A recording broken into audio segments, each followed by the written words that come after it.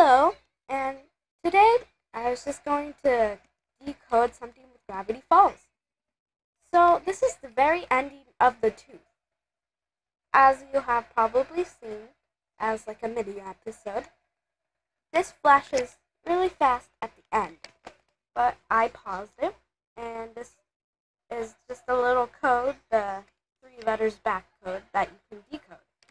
And what I've done here is I went on Google Documents and decoded this, and it said codes of credits past one means one so.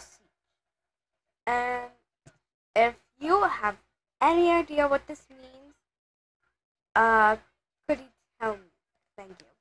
And I'm looking on here, and I'm seeing these like number things, and I'm not sure what these are.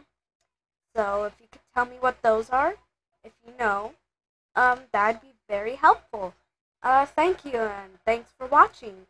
And I might just scroll through some more videos and see if they have any little Easter eggs or any codes to crack. So yeah, um, bye.